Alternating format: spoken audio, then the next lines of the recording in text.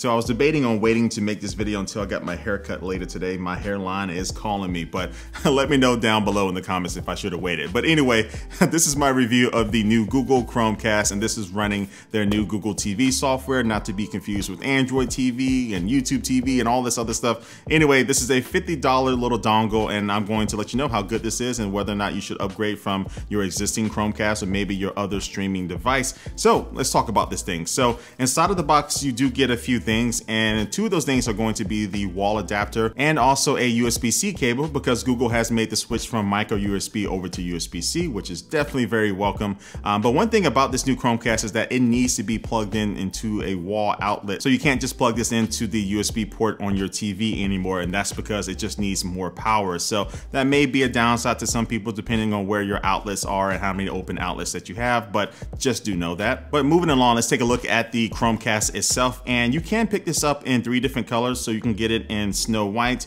you can get it in sky blue, which is the color of this one, and then also sunrise pink. And compared to previous Chromecast, this will be bigger, but that's not really an issue because this will just be sitting behind your TV set. But the other piece of hardware inside of this box is the one that I feel that is just as important as the main Chromecast, and this is the remote control. And this allows you to have a lot more options and a lot more capabilities. And then Google even color match the batteries that come inside of it to, to match the of the control and your Chromecast. So that's a nice little touch. Uh, but I like this control because it's not really too simple, it's not too complicated, and everything just really makes sense on it. So at the top, you do have this directional pad and also a button there in the middle that acts as your enter button. And below that, you'll find the back button, you'll find the dedicated Google Assistant button because it does have a microphone that you can use to talk to it. And then also you'll find a home button, a mute button, and also dedicated buttons for YouTube and Netflix. And below them, you'll find the power button and also a dedicated source button. So the source button is definitely good because, uh, you know, traditionally with your Chromecast, if you start casting something from your phone or your, your computer,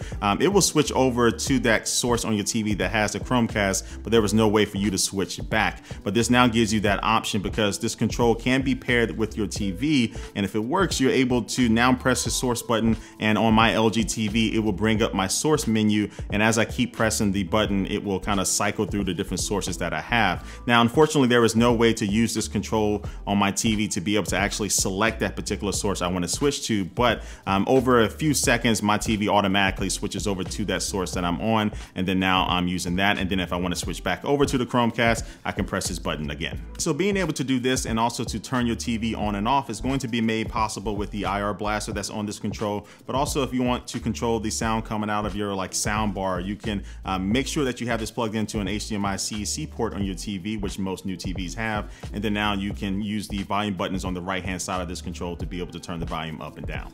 Okay, so now let's talk about software. So this is running Google TV, and this software is going to be what separates it from your previous Chromecast, but also what helps bring it on the same playing field as your Roku or your Apple TV devices. And because this is a Google product, it's all about recommendations, looking at what you like to watch and trying to recommend things that you might want to start watching. And so uh, the first page is going to be the For You page, and you can see here that it has, you know, just some things that I might want to watch based on my previous viewing habits. And I was actually thinking about about rewatching The Last Dance again. So it, uh, it did pop up there. So did a good job at that. Um, but then also too, it'll show me some of my apps that I have installed on here. And then also some things that I was already watching. So I can quickly get back into these things and start watching them again. And then you have your trending page. And then you also have a section down here for recommended YouTube videos because YouTube is also integrated into this. And so I'm, I already watched this video from Austin Evans, but it's a good one.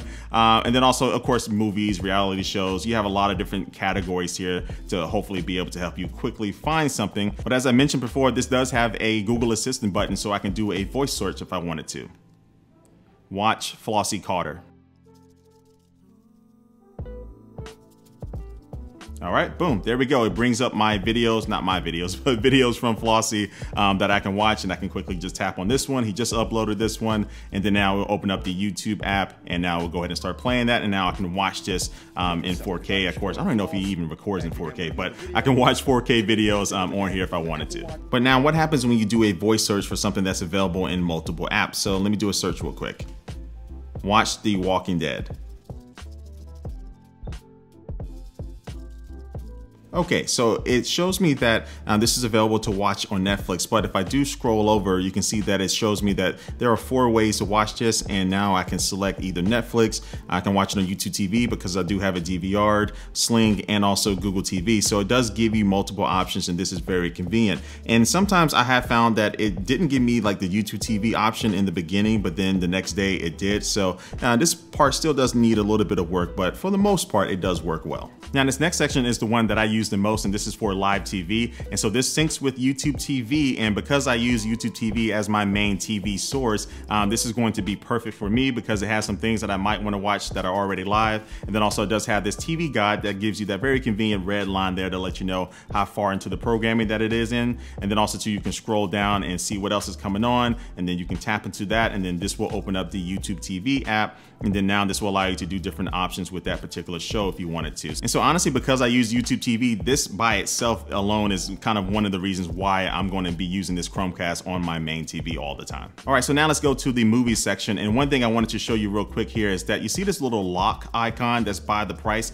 And so this means that I either need to buy this particular piece of content um, or I might not have the app or I'm not signed into the app. So I would need to like register for that service in order to be able to watch it. So this will be showing you things that you don't currently have like access to, um, but it will kind of show these as recommended things that you might want to watch. So um, sometimes it can give you too many of those in my opinion, and I wish that it would show me more things that I already have access to. But again, it's a good way to kind of discover new things that you don't already know about. Now this Chromecast does support 4K, HDR, Dolby Vision, and also Dolby Atmos. So you have access to some of the best quality when it comes to sound and video quality. Now one thing I didn't notice is that uh, when I do load up something like 1917 here, it does take, you know, maybe like five to 10 seconds for it to completely buffer and give me the best quality. And so something like the Apple TV 4K was a lot faster as far as like loading up your content and giving you the best quality right away. But besides that, the 4K content looks really good on here. So I really like the quality from the stream itself. Not as good as the, the Apple TV 4K, but still looks really fantastic. And so with TV shows, it's mostly the same thing as I showed you before with movies. And then when you go over to this app section here, you can actually customize this particular section. So I can press and hold on this and now I have the option to move it. And so now I can kind of move this down the line here, or if I watch it a lot, I can keep it up front.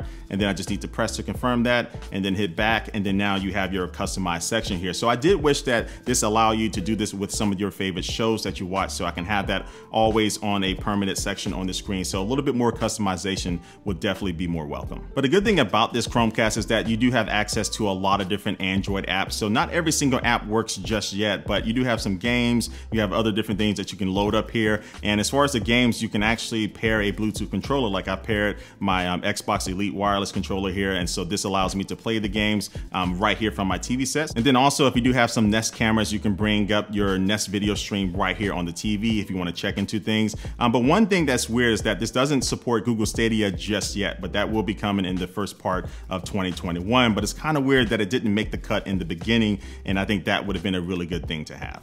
But let me clarify something real quick. If you can't wait for Stadia to come out in 2021, or you want to try the Xbox xCloud game streaming platform, um, you can get those kind of like side loaded to work with this Chromecast. And there are some videos to kind of show you how to get this working. But if you want things to come officially, um, you have to wait a little bit. And then with this library section, this is going to be showing me content from my DVR that I have with YouTube TV, and also a bunch of different movies that I might have. And because I do use the Movies Anywhere uh, platform, that allows me to log in with my Apple TV um, login and also to my uh, Amazon Prime and my Google Play movies. And I can have all of those things synced together. So no matter where I purchase the movie at, it will be able to show up on all the different platforms. But with this in particular, it just kind of brings everything together in one single section, which I do like. So I don't have to do a lot of looking around for stuff. And so yeah, this is pretty much it. So this device is pretty straightforward. And I think because of the remote control being really good and also too with the software being really tailored towards giving you a lot of recommendations and having all of your different sources of video content in one single place,